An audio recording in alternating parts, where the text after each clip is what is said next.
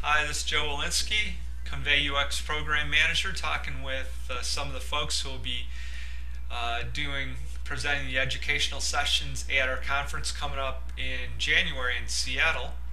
Uh, and so today I'm talking with Andrew Schall. Hello, Andrew. Hi, Joe. How are you? I'm doing pretty good. Where are uh, you talking to us from today? Uh, well, I'm talking to you from a uh, not so sunny day in the uh, Baltimore, D.C. area.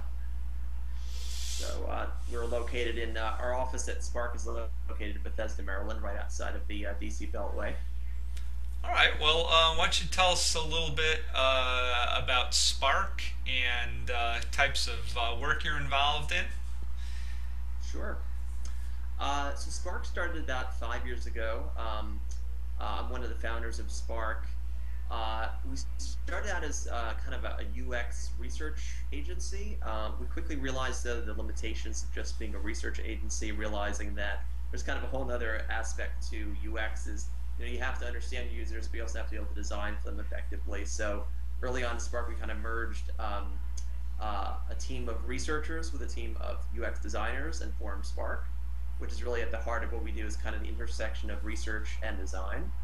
Um, and I lead the uh, UX team. I lead, I lead the, uh, researchers on that part of the team, but we all work pretty uh, hand in hand together. Um, and our research team has about uh, about six or so UX people on it. And uh, so, uh, you know, what typically are, the types of things that, that you get involved with personally? What like what's your main area of interest? Um, I have my hand in pretty much everything. so uh, I, I, kind of oversee the, I guess, the strategy these days for a lot of our research, even though I do participate in as much as I have time for. Um, so these days we're doing a lot with um, uh, ethnographical kinds of studies. We're doing diary and longitudinal studies this week. Um, we've been doing um, some uh, major redesign work uh, for other clients where we're doing a lot of uh, usability testing and card sorting, optimizing information architecture. Um, so it's, it's usually always something different, always new challenges, um, but I somehow manage to, um, I, I, describe my role as Spark as kind of the conductor of the orchestra. So I just make sure that the instruments are in tune and we're using the right instruments and everything sounds okay at the end of the day. So it's my role. Well, I, you've uh, recently uh, published your book, Eye Tracking and User Experience Design. So uh, I hope that's going well. Congratulations on that. Uh, what was, uh, how did, how did the idea for that come about, and uh, kind of what's the, what's the theme of what your book gets into besides the obvious? Yeah, I mean, so this is a book I've wanted to write for a really long time. I think I was just waiting for just the right moment and realized that was never going to come. Um, but what really sparked my interest in that is that I, I, mean I have been doing eye tracking for a number of years, um, but as a practitioner, there really wasn't a lot of stuff out there to tell me how other people are using eye tracking. Um, I just knew what I was doing. And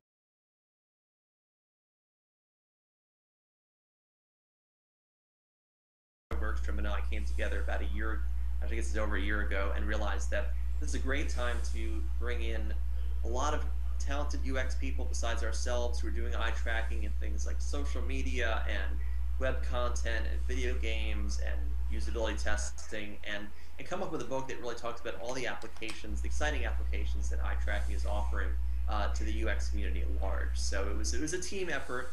Jen and I were sort of the ones in charge of, um, as she said, herding cats a lot of the time to pull all these great people together to tell, to tell a lot of powerful stories about how eye tracking is used today. So as you uh, put together your thoughts for that book, um, well, I mean, obviously, eye tracking's been around for a long time. There, you know, different people use it in different ways. Um, did you I, I identify any uh, particular challenges or emerging trends that are changing with respect to your use of eye tracking? Um, I, I, think in a few ways. I think the uh, the technology has gotten much better uh, over the last decade or so that I've been using it. Um, it's uh, cheaper, faster, a uh, lot smaller, lot smaller than they used to be. Um, uh, relatively easy to use, so a typical UX practitioner can at least collect the data. Um, so it just it's made the tool a lot more accessible to a lot more people. Um, lately, um, I've been working with a lot of clients to do eye tracking on um, a lot more different kinds of platforms um, than I had used to. For a while, I was doing a lot of traditional kind of website evaluations on you know desktops or laptops, very traditional environments. But now uh, we're doing eye tracking on everything. We're doing eye tracking. Um, I did eye tracking this summer on TVs, very large displays. Um, uh, recently, we've also done, uh, which is the focus of my, my workshop, uh, on mobile devices, iPhones, Kindles, tablets, iPads, etc. Um, and even taking it into kind of real world environments where we have our, our eye tracking glasses, where we're actually doing usability and user experience uh, in the real world, which is really exciting.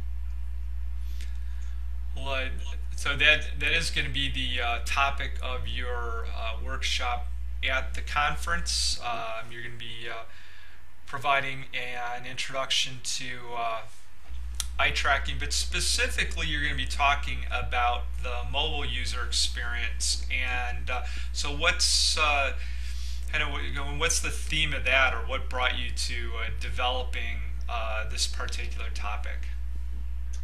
Well, um, at Spark, we invested in mobile eye tracking pretty early. Um, we had been doing a lot of mobile design, like on many other design firms, um, and we realized that you know eye tracking really has strong applications for the mobile experience as well. Uh, the, the, same kind of challenges we have with desktop, just in a, a smaller package. Um, one of the biggest challenges of mobile eye tracking, which the folks in the workshop learn a lot about, is um, uh, how do you effectively track devices that are inherently much smaller and, and are less standardized than your typical laptop or desktop. Um, so folks in the workshop are going to be uh, learning about two fundamentally, fundamentally different techniques um, one is using a mobile stand, which uh, is a stand that we have at Spark and that you'll have a hands-on experience with, with the, the actual device sits on the stand. Um, and that's really great if we want to understand um, uh, one participant to the next in a very uh, sort of um, fixed setting. Uh, of course, the challenge of the fixed setting is it kind of goes against the mobile almost, which is something where mobile is on the go. It's very contextual. It's in, in a, you know in the user's environment. They could be sitting on their their couch at home or on the subway. Uh, so we realized early on that a fixed approach is not going to work for every study.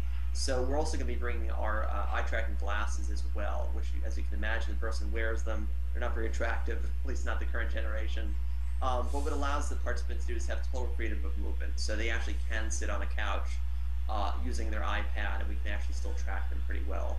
So um, it's kind of a people will learn about the, the pros and cons of each approach um, and kind of where the where mobile eye tracking is heading. I mean, the technology is moving pretty quickly. All right. Well, uh, I'm definitely looking uh, forward to uh, checking that out. That the mobile area is one that uh, doing a lot of projects on all the time. So, um, thanks for uh, taking a few minutes to uh, give you a preview of, of your topics for the conference, and we'll see you here in a couple of months. Great. Looking forward to it. Thank you, Joe. Appreciate it. Thanks, Andrew.